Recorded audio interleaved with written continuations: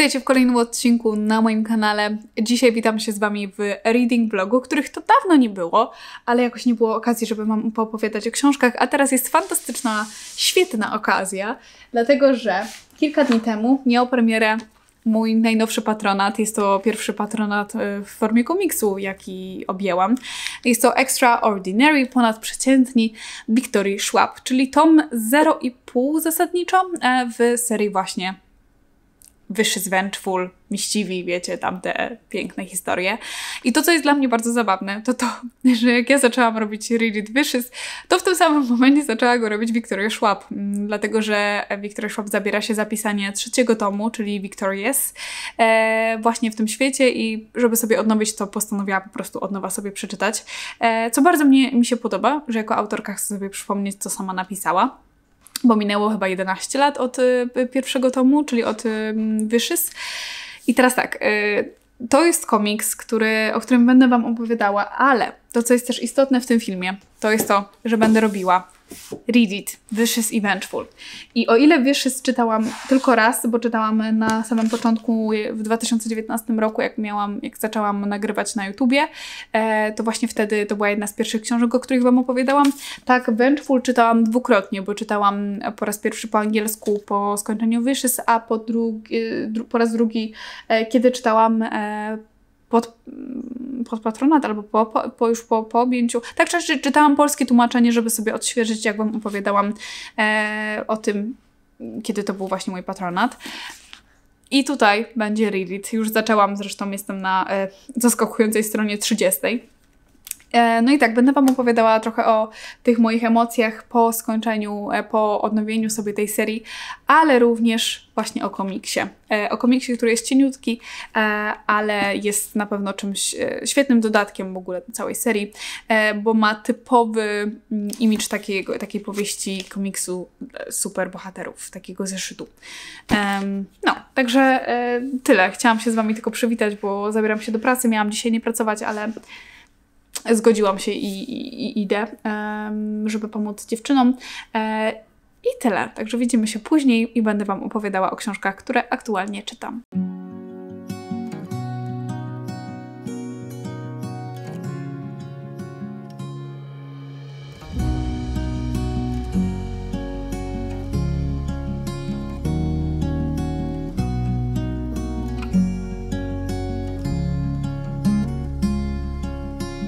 Zaczniemy bardzo miło, bo nie od update'u czytelniczego, a, a, od prezentów, które dostałam bardzo mm, niespodziewanie, dlatego że e, dostałam plakat, który bardzo chciałam, ja go ogólnie chciałam kupić. E, marzył mi się ten plakat, bo uważam, że jest przepiękny. A dostałam go od samej ilustratorki, Pauliny Dudek. Czy on jest przepiękny? Ja mam e, od tej e, ilustratorki, od tej malarki dwa obrazy. Jeden to jest ten tutaj bardzo duży, drugi to jest ten tutaj trochę mniejszy. E, oba kupiłam na targach książki w Warszawie. Tam też po raz pierwszy zobaczyłam Paulinę. E, no i dostałam właśnie od niej prezent, jako że coś tam będę dla niej robiła. E, i bardzo się z tego powodu ucieszyłam, więc y, pojechaliśmy dzisiaj z Adamem po ramkę, tak żebym mogła od razu wsadzić i powiesić. Już nawet mamy jedno miejsce. Mimo tego, że jest bardzo duży ten obraz, to już mam wybrane miejsce, gdzie zawiśnie. E, I drugie, drugi, druga paczka, którą dostałam, to słuchajcie, jest paczka od obserwatorki, od Kamili. Kamile, bardzo Ci dziękuję. Ty wiesz, że ja jestem Ci wdzięczna. Chociaż pisałyśmy z Kamilą o tym, co będzie w tej paczce, to ja zdążyłam zapomnieć po prostu, co, co faktycznie tam Kamila dla mnie przygotowała. Więc miałam podwójną niespodziankę niespodziankę. Po pierwsze, dostaliśmy solniczkę i pieprzniczkę koty. I to jest zabawne, dlatego że ja wczoraj wieczorem e, przeglądałam stronę Sinseya i tam właśnie widziałam e, w podobnym bardzo stylu e, coś takiego. To chyba jest z TK Maxa, z tego co widzę, po tej charakterystycznej cenówce. E, I marzyły mi się takie, także Kamila idealnie się wpasowała, bo po prostu zobaczyła podobno i, i pomyślała o mnie. E, dostałam od niej cztery książki. Pierwsza to jest e, Cudze słowa Wita Szostaka e, i to jest Siedem osób kreśli portrety Benedykta. Z każdej opowieści wyłania się inny bohater czy twórca najoryginalniejszej z krakowskich restauracji. Ukochany uczeń charyzmatycznego filozofa i kochanek dwóch niezwykłych kobiet to na pewno ta sama osoba. E, I to jest po prostu z perspektywy różnych osób e, opisana chyba jedna i to jak my, jak my ją postrzegamy. Po prostu jak mi o tym napisała Kamila stwierdziłam, że bardzo mi się podoba ten e, pomysł na fabułę i że chętnie w sumie bym przeczytała i Kamila stwierdziła, dobra, to kupuję ci. E, dostałam Alchemię, czyli powieść biograficzną o Marii Skłodowskiej-Curie. Tu nie muszę tłumaczyć, to nie jest pierwszy prezent od Kamili, który dostaję, który ma związek z Marią Skłodowską, bo e, jak się obroniłam, to też dostałam biografię Marii Curie, tą napisaną przez Ewę Curie w starym wydaniu, właśnie od e, Brygidy i od Kamili. Kolejna to jest Złoty chłopak, szmaragdowa dziewczyna i to jest książka autorki, która, której powieść została mm, w zeszłym roku wydana przez wydawnictwo Pauza, a, wcześniej była wydawana przez wydawnictwo Czarne. No i właśnie um, ona już e, nie jest dostępna w takim. Trzeba po prostu z drugiej ręki ją kupić. I e, coś, co miałam od bardzo dawna na wishliście na Goodreadsie, to właśnie nasz Azel. To jest pełna humoru i wzruszająca opowieść o niezwykłej działalności Antoniny i Jana Żabińskich, którzy podczas II wojny światowej pomagali ukrywającym się Żydom, dając im schronienie w swojej willi i w opustoszałych pomieszczeniach warszawskiego zoo. To jest powieść skierowana dla do młodszych, natomiast podobno jest bardzo, bardzo dobra. I dostałam też puzzle Także bardzo się z tego powodu cieszę. E, będę miała co układać, mimo, mimo tego, że już i tak mam co układać, bo jeszcze Brygida mi e, ich dokłada. Ale jest mi strasznie miło jeszcze raz Ci bardzo dziękuję. Jeszcze raz bardzo dziękuję Paulinie, która na pewno tego nie ogląda, ale mimo wszystko, e, jeżeli szukacie ilustracji, e, to warto sobie spojrzeć tam na jej stronkę, bo, bo robi piękne prace. Tyle, jeżeli chodzi o e, prezenty. E, to i tak jest bardzo dużo. Ale tak, mamy godzinę 21.54. Ja będę teraz składała TBR card, y, dlatego że ja miałam już TBR card, w, znaczy mam. Jakby pa patrzę się na niego cały czas. O, pięknie było widać moje czoło. E, ale kupiliśmy z Adamem trochę większe i mam wrażenie, że będzie trochę wygodniejsza, więc y, chcę zbudować i przełożyć książki. Także tyle na teraz. Przyjdę później.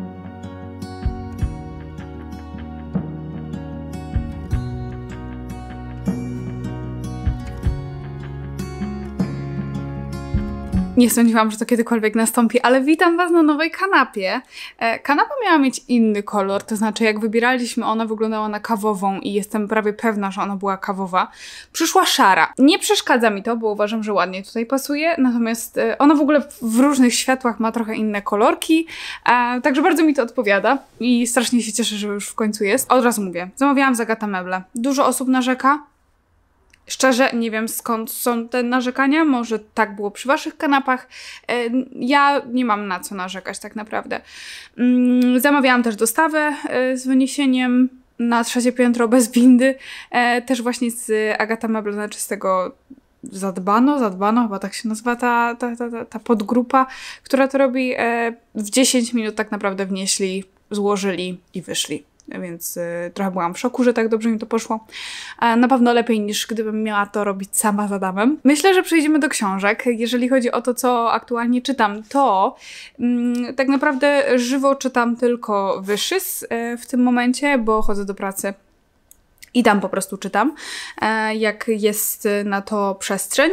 Jestem na stronie 274 e, mojego rereadu. Jak wiecie, jest to jedna z moich ulubionych serii. Tak naprawdę Wiktoria Schwab jest moją ulubioną osobą autorską, e, jeżeli chodzi z tych takich żyjących aktualnie. Mm, I muszę przyznać, że bardzo mi pasuje ten reread, dlatego że ja Wishes czytałam tylko raz, Vengeful czytałam dwukrotnie i mimo wszystko mam wrażenie, że sporo zapomniałam. To znaczy, ja pamiętam konkretny klimat, mniej więcej wiem, co się wydarzy. E, natomiast e, ci bohaterowie, to jacy oni byli dla siebie, to jak to w ogóle jest przedstawione, dlatego że ta książka może się niektórym wydawać chaotyczna. Mamy tutaj sporo skakania po linii czasowej, bo mamy 10 lat wcześniej, 2 dni wcześniej tego ranka i tak cały czas sobie skaczemy. Natomiast mam wrażenie, że mimo wszystko nie jest to takie, żeby się w tym nie połapać. Może jeżeli nie będziecie wystarczająco skupieni, to wtedy tak, widzę, że mogłabym się zgubić, gdyby tak było, ale mam wrażenie, że mimo wszystko dobrze jest to przedstawione ze względu na to, że widzimy różnicę w podejściu naszych głównych bohaterów do siebie nawzajem, bo dla tych, którzy nie wiedzą, mamy tutaj historię Elaja i Wiktora, którzy byli przyjaciółmi na studiach, na studiach medycznych e, i jako projekt na zaliczenie mieli opisywać ponadprzeciętnych i e, stwierdzili, że w sumie dobrym pomysłem będzie, żeby tym ponadprzeciętnym się stać. Oczywiście to nie był najlepszy pomysł. Ponadprzeciętna osoba to jest taka, która mm, o krok była od śmierci, to znaczy umarła i zmartwychwstała tak naprawdę. Mm, no i Eli y, trochę tworzy z siebie takiego Boga, to znaczy on mm, twierdzi, że jest czymś w stylu wysłannika Boga i tak się też zachowuje w samej powieści. E, no i Wiktor, kiedy to zauważa, to tak naprawdę następuje rozłam od razu ich przyjaźni. Tak naprawdę to się dzieje na przestrzeni jednego dnia, jednego wieczora. Mamy dwójkę bohaterów, którzy są ponadprzeciętni i chcą ze sobą walczyć. Eli próbuje zabijać wszystkich ponadprzeciętnych, bo właśnie uważa się za takiego wysłannika Boga, który ma wszystkie tą nadnaturalność, e, ma się tego pozbyć ze świata, a Wiktor, no, chciałby, żeby ten Ela się ogarnął tak naprawdę. E, I od razu mówię, jeżeli e, w którymś momencie chcieliście ich shipować jako parę enemies to lovers, mm, to Wiktoria Schwab zdementowała to między innymi w wywiadzie, który ja z nią prowadziłam w zeszłym roku, który jest dostępny na kanale, więc możecie sobie go zobaczyć. Powiedziała, że któryś z tych bohaterów jest, czy w ogóle może oboje, są aseksualni ona ich tak odbierała.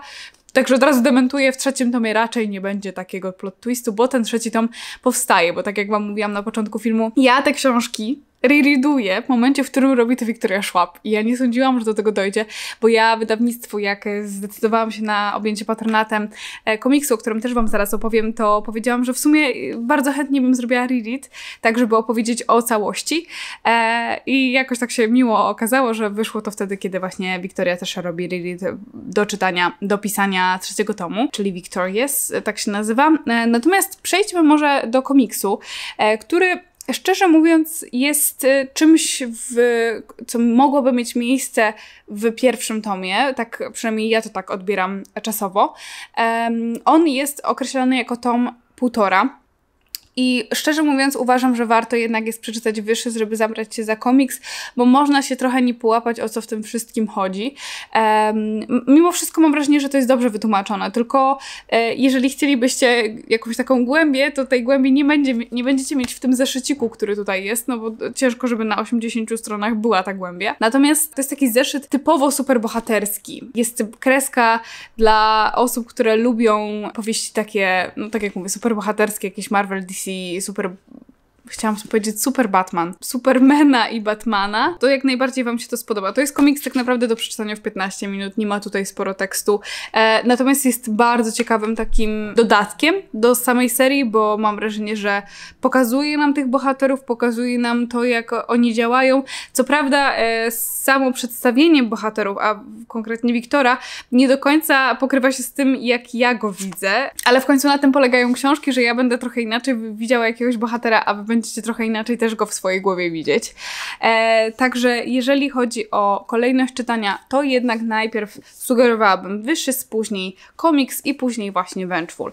E, w takiej kolejności uważam, że to będzie super. No i na końcu komiksu jest też e, opowiadanie o Grzejmie. Opowiadanie, którego nigdzie indziej chyba się nie da przeczytać w żadnym innym mm, dodatku. I oczywiście warto by było też przypomnieć o tym, że e, jest również, został jakiś czas temu wydany komiks Stalowy Książę, czyli e, to było wydane przez wydawnictwo Winidia również, natomiast e, seria, do której należy Stalowy Książę jest wydawana przez wydawnictwo Zysk. E, I to oczywiście chodzi o mroczniejszy, o odcienie magii, całą tą serię, także tutaj też wspominam, że te komiksy są, no bo jeżeli lubicie takie mm, właśnie z taką typową kreską, e, charakterystyczną kreską, to tam to też Wam się jak najbardziej spodoba. Ja o tym komiksie może dużo mówić nie będę, tutaj po prostu mamy historię dziewczyny, która zostaje wskrzeszona, dlatego że w, w Wishes pojawia się bohaterka, która potrafi to robić, e, no i na nią zaczyna polować Eli, który, tak jak Wam powiedziałam, y, próbuje się pozbyć wszystkich ponadprzeciętnych. I tu się rozwija cała historia, króciutka, o fabule Wam mówić nie będę. Bardzo szybko się ją czyta, bardzo dobrze się ją czyta. Dobra, pierwszy raz tak robimy. Wyczerpałam, wyczerpał mi się akumulator w aparacie, e, a już tak naprawdę miałam do, do, do pożegnania się, bo muszę wychodzić do pracy. E, to czytamy powyższy, a później Vengeful. E, I ja zabieram się za kontynuację Wishes i później przejdę do Vengeful, żeby Wam opowiedzieć o całości i o moich odczuciach e, po pięciu latach od e, pierwszego czytania. Do widzenia.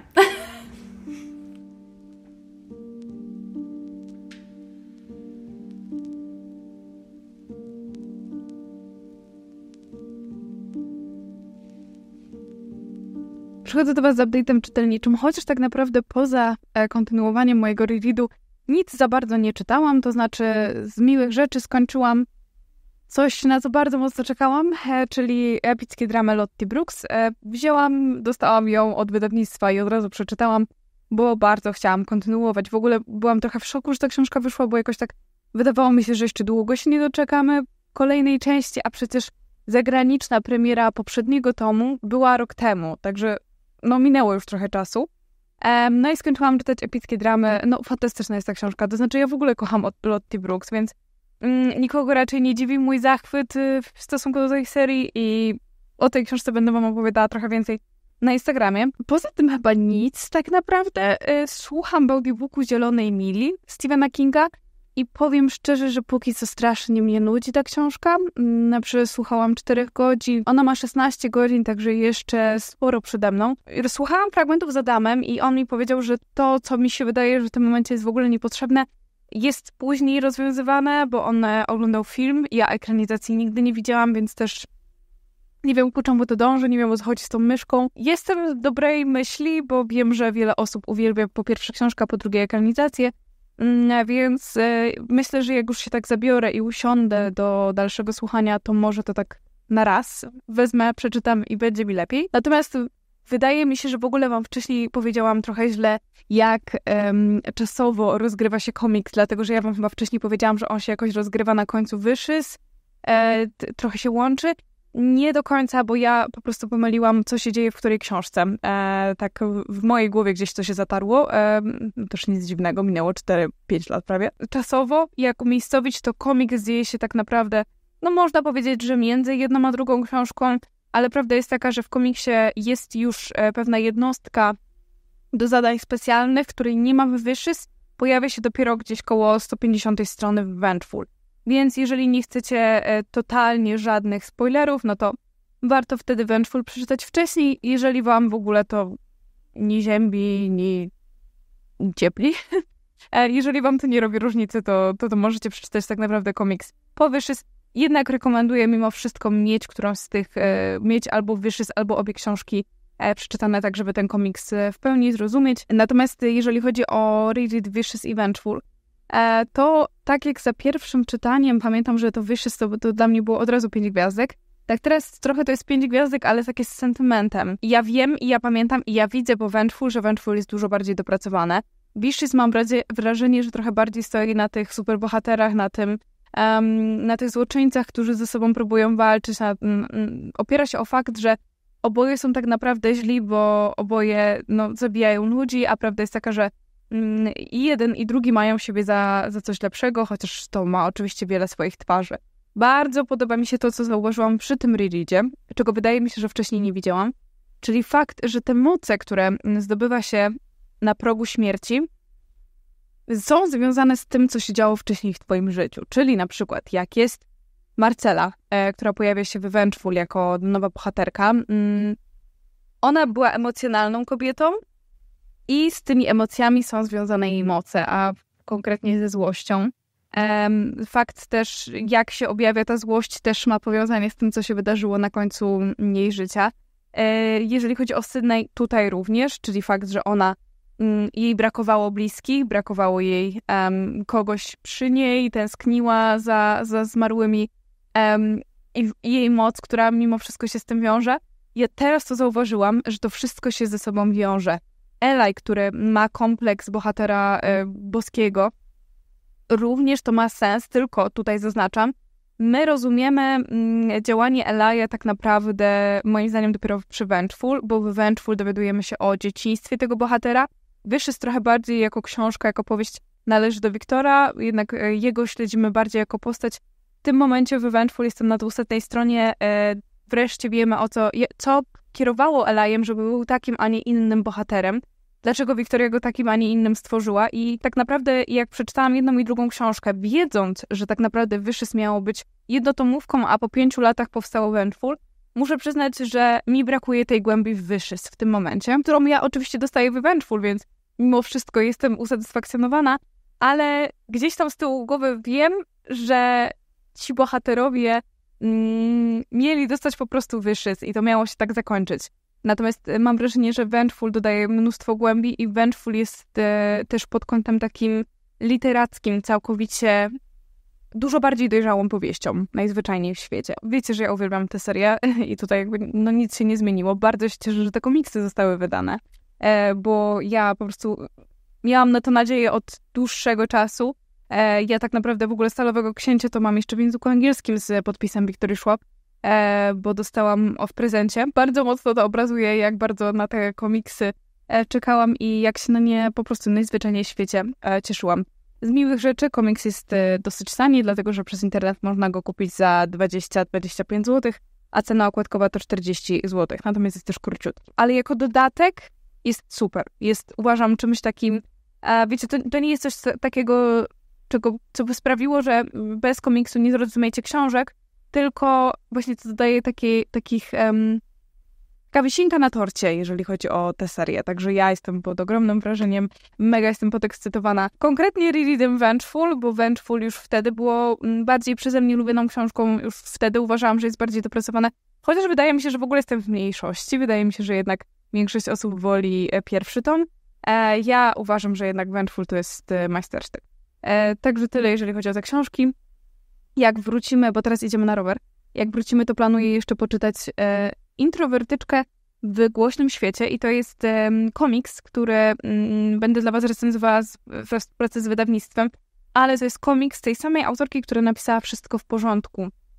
I tamten komiks był dla mnie czymś bardzo istotnym, bo był historią o depresji, o tym, jak wygląda depresja, jak e, obraz, zobrazowała ją po prostu autorka, która sama e, cierpi na tę chorobę. I uważam, że zrobiła to w świetny sposób. Tutaj mamy e, chyba komiks, który w ogóle powstał jako pierwszy. Tak mi się coś wydaje, bo kiedyś to sprawdzałam, ale mogę się mylić.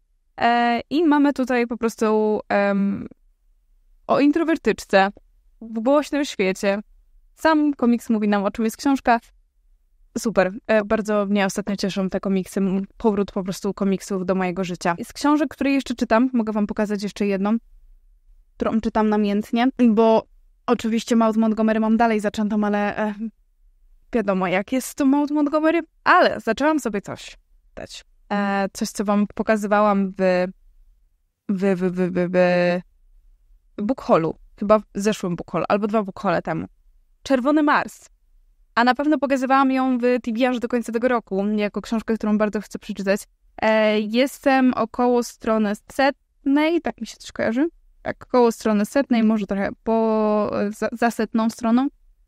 I póki co to jest trochę coś innego niż się spodziewałam, ale przyznaję, że mi się podoba. Także zobaczymy, jak to będzie wyglądało. Trochę więcej o tej książce będę Wam mówiła w kolejnym vlogu, który pojawi się za tydzień na kanale, bo e, to będzie vlog z kończenia książek, które mam zaczęte, więc e, zrobiłam sobie, robię sobie challenge, w którym chcę skończyć Mount Montgomerem. Czy to się uda, czy też nie, to już się przekonacie za tydzień, e, ale trzymajcie za mnie kciuki.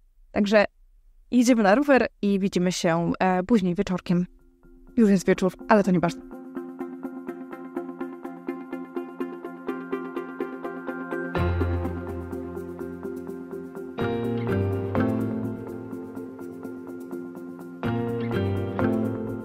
Jak się jedzie? Nie chce mi się dzisiaj. Po tygodniu przerwy. Adaś mi kazał, a dzisiaj mi się nie chce. Za nami niecałe 12 km.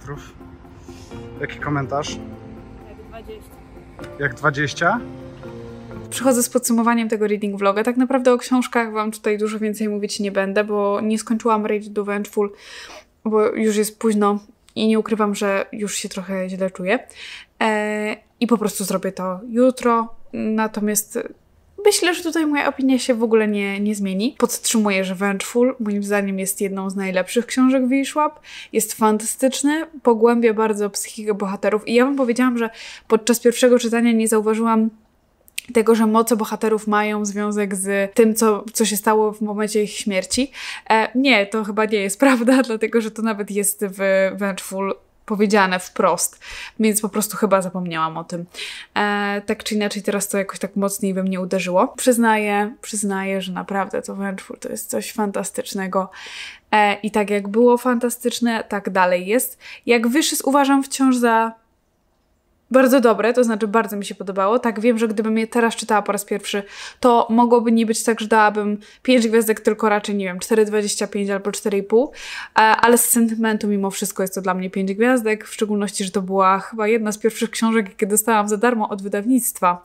Tak mi się coś e, kojarzy, że, że to mogła być jedna z pierwszych. A Vengeful, no to był już mój drugi patronat, to e, była ta książka wydana rok później i miałam okazję jej patronować i byłam bardzo dumna z tego. Dlatego równie dumna jestem z tego, że no 4 lata po publikacji Vengeful e, w języku polskim jestem patronką e, ponadprzeciętnych w komiksie i tutaj oczywiście warto by było wspomnieć, że tłumaczył Maciej Studencki, który również właśnie tłumaczył serię z Vengeful, który tłumaczył Galland, który tłumaczył Miasto Koś, e, Boże, Miasto Duchów, który również tłumaczył oczywiście Adileru.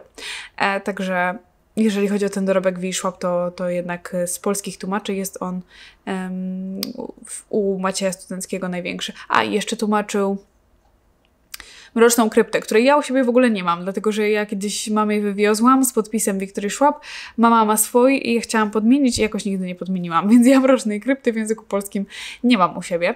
E, a jeszcze tą, e, Wiedźmę, Wiedźmę z Bagien, tak? Bli, nie, blisko. The New Witch. E, Wiedźma z bliska? już nie pamiętam polskiego tytułu. Ale też robiłam reread. W tym roku? Chyba w tym roku. Ja już nie wiem, kiedy te książki były wydawane. Już tak. Jakoś powiem Wam szczerze, że 2019 i 2020, jeżeli chodzi o książki, mam świetnie w głowie gdzieś zapamiętane. Mogę Wam powiedzieć dokładnie, kiedy mniej więcej w, w którym miesiącu czytałam.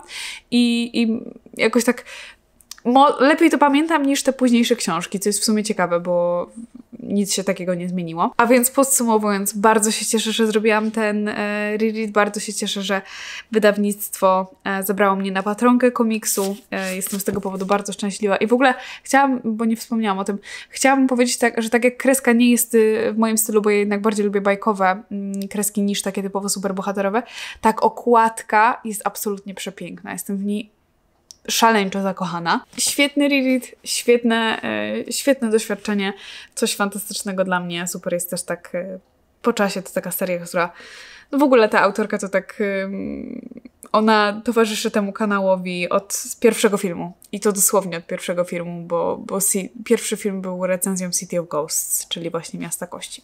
Miasta Duchów. Ja już nie myślę dzisiaj. Udało mi się dosłownie, nie wiem, w 15-20 minut przeczytać, może nie, może przesadzam, może w pół godziny, e, komiks Introwertyczka w głośnym świecie. E, o tym komiksie, tak jak mówiłam, będę Wam e, więcej mówiła na Instagramie, tam też zapraszam po recenzji i tam też na dniach będę Wam wstawiała e, najfajniejsze fragmenty i e, tak jak wiedziałam, że będę je wstawiała, tak nie sądziłam, że będzie ich aż tak dużo. Mogłabym całą książkę wam wstawić na stories i tak naprawdę no, to by wyrażało to, co w sumie mi często też towarzyszy. Może nie jeden do jeden, tak jak e, autorce komiksu, bo aż tak introwertyczna mam wrażenie nie jestem. Ale dla, jako ciekawostka mogę powiedzieć, że tu jest e, wspomniany test, e, ten test osobowości, mm, bardzo popularny i mam tą samą osobowość co e, autorka, e, czyli INFJ. Introwertyczny, intuicyjny, zmysłowy, wartościujący. I przechodzimy do książek, które dostałam, bo dostałam dwie książki e, i w sumie stwierdziłam, że chętnie je pokażę. Dolina Tęczy, mm, czyli tom siódmy przygód Ani Zielonego Wzgórza, z tym, że e, to jest mój najmniej przeze mnie lubiany. Wystawiłam, pamiętam, tej książce dwie gwiazdki i szczerze bardzo się boję rereadu. Jak już do, do niego dotrę, to, to wiem, że będę um, się martwiła, jak to będzie wyglądało. I to jest pierwsza książka z tej serii, która ma tytuł w poprzek, a nie u, u góry Ann, no, bo nie, nie, ma w tytule Ann. Um, no bo też to nie jest książka o Ann, tylko raczej o jej dzieciach, um, a w ogóle o różnych dzieciach, tylko właśnie tych, które się pojawiają w życiu Ani już jako dorosłej kobiety, już jako dojrzałej matki. Tej części się boję, natomiast pamiętam, że jak ja czytałam Dolinę Tęczy, to czytałam chyba w innym tłumaczeniu niż w tamtym momencie czytałam wszystkie Anie, ale mogę się w tym momencie mylić, tak czy inaczej tam mi się wydaje, że coś było z tym tłumaczeniem. E, no i niestety ta Dolina Tęczy to mnie wtedy bardzo, bardzo mocno rozczarowała.